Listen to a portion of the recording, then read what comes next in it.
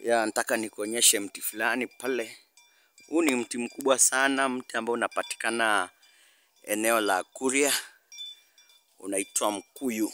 Mti huu ni wa ajabu sana, ndio maana nimeamua kukuletea katika habari za huu mti.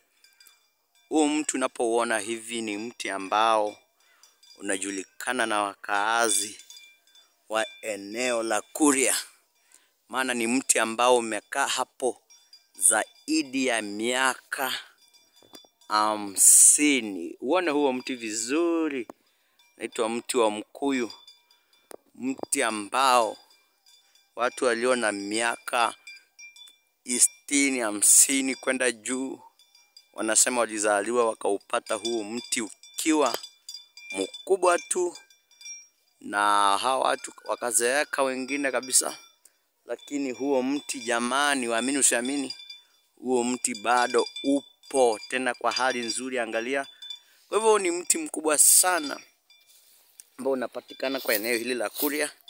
Nimeamua nikuletee